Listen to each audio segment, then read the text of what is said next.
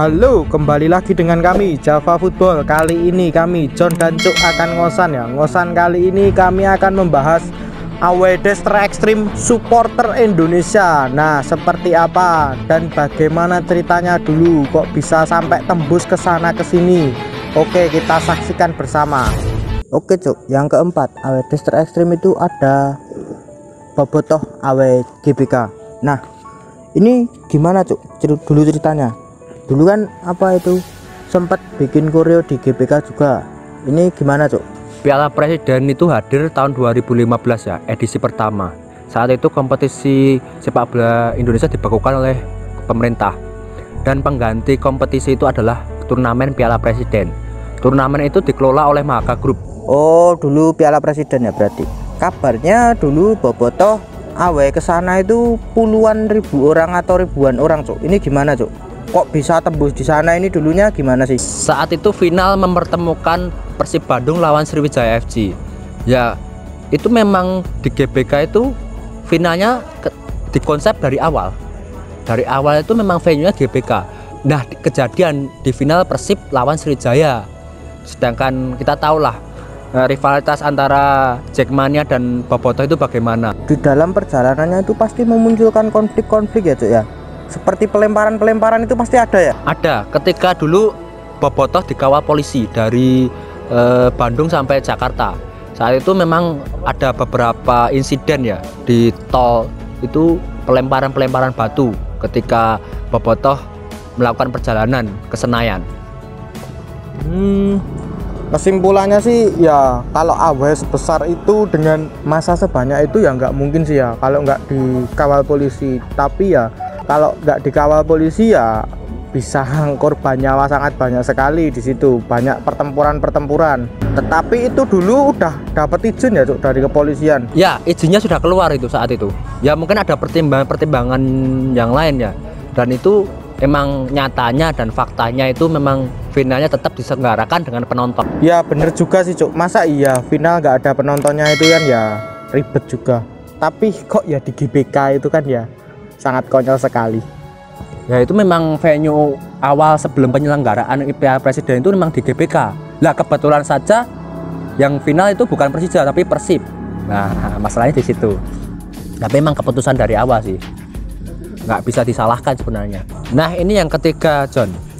Menurut saya AWD Extreme itu solo fan away ke Bantul. Saat itu eh, event Liga 2 saat itu kompetisi Liga 2 tahun 2017 mempertemukan Persiba Bantul lawan Persis Solo. Dan itu solo fan away ke Bantul ketika solo fan away ke Bantul itu harus melewati Jogja. Dan Jogja itu adalah rivalnya Solo. ya sangat betul sekali Cuk saat itu memang sebenarnya sih tidak boleh awe dari pihak Panpel Bantul pun juga melarang solo fan itu saat itu awe ke Bantul tetapi saat itu juga saya dengar itu di media sosial itu juga dibatalkan Cuk. Ini strategi yang unik juga dari solo fan sebenarnya. Strateginya ini apa? Silent operation. Mereka itu membungkam seluruh media.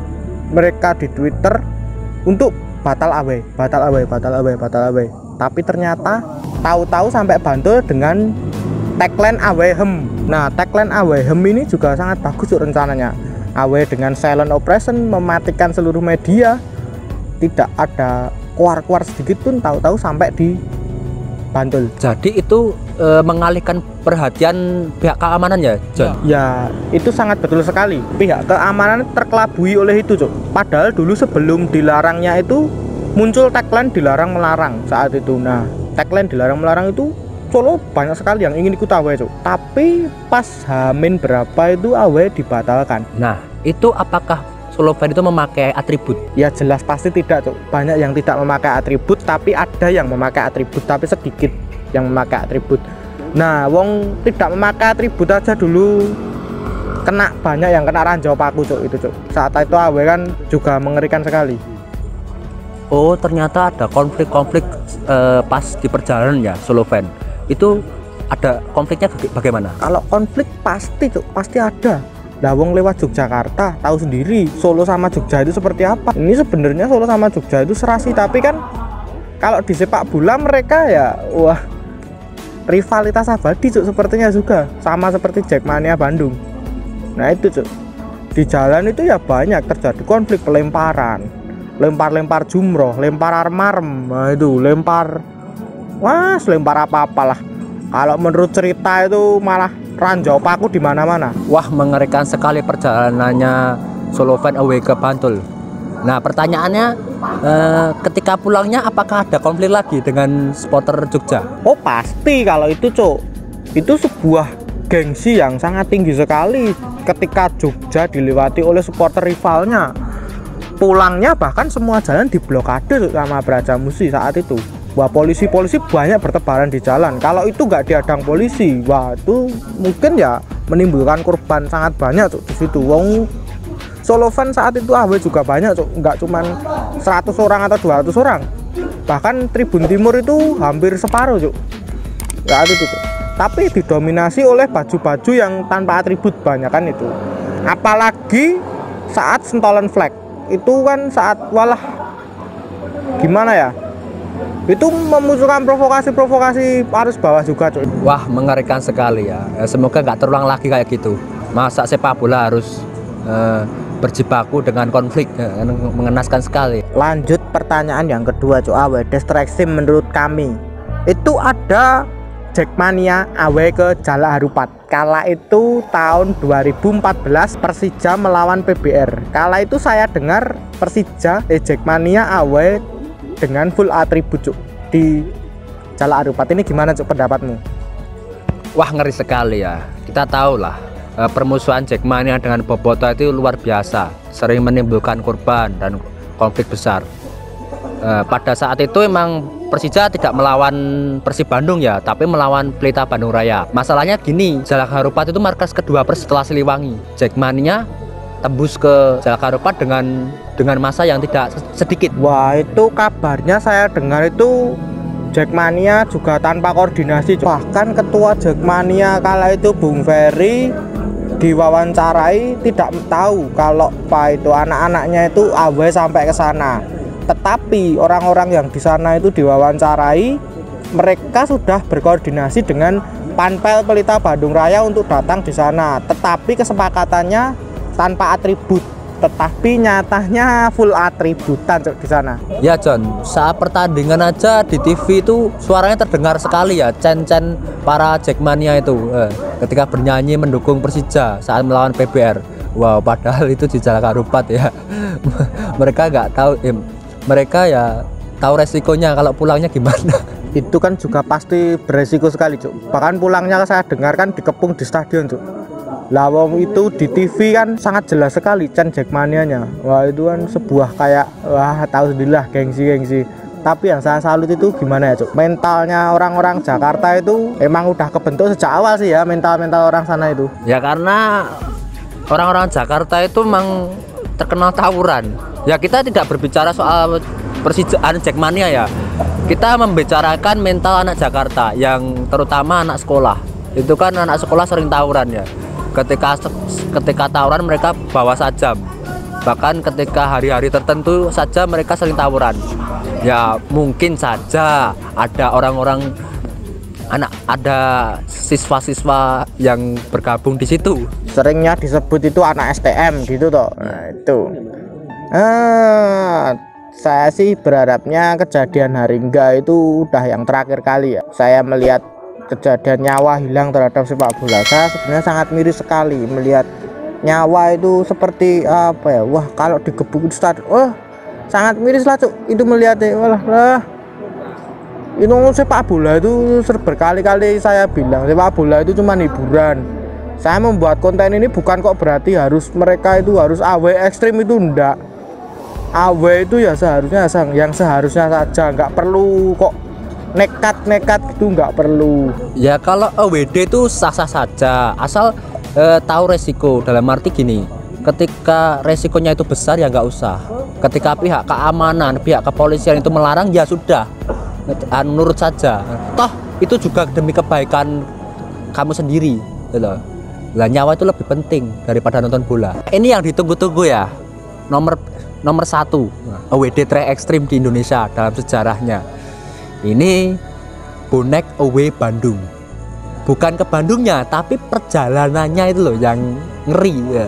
Itu kalau orang di logika pun nggak sampai ya. Dengan akal sehat. Itu bagaimana? Apalagi saat itu bonek itu masih bermusuhan ya dengan banyak orang.